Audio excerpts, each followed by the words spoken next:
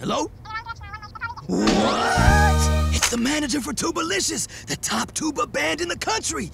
She saw my video and she wants me to audition for the band. It's your big break, Chef! What are you waiting for, Tuber Man? Say yes! I mean, uh, Hi, this is Chef's um agent, who is real and definitely owns a briefcase. He'll be there! Da, da, da, da, da. no, no, no, no. Can't audition for Tubalicious. Look at them. They're, they're gods. I know. I'll just tell them I came down with tuberculosis. Snap out of it, Chef! This is your dream! You have to go after it! Yeah, remember you told me never to give up on my dream of becoming queen of the world? How you encouraged me to keep painting! Happy little tree!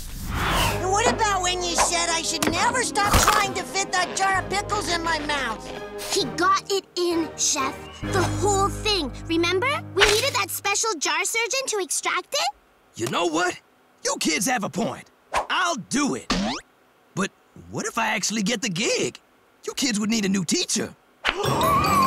Oh, huddle up! Sure, losing Chef sounds scary, but what if we ran the interviews? We could choose the perfect replacement. He gets his dream, and we get our dream teacher.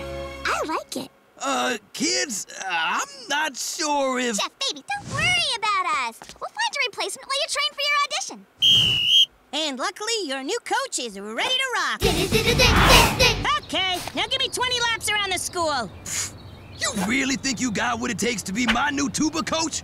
What are your credentials? My credentials are get your tuba playing butt running laps or you'll be back to playing two-bit wing joints so fast it'll make your head spin. Sir, yes, sir!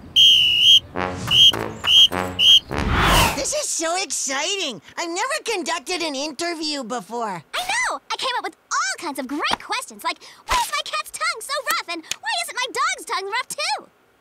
They're mostly about tongue stuff. Come in!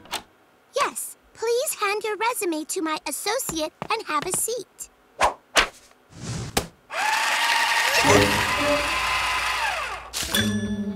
Appears we will need another copy.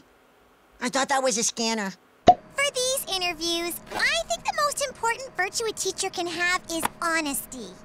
You've asked me this eight times! Yes, this is my real hair!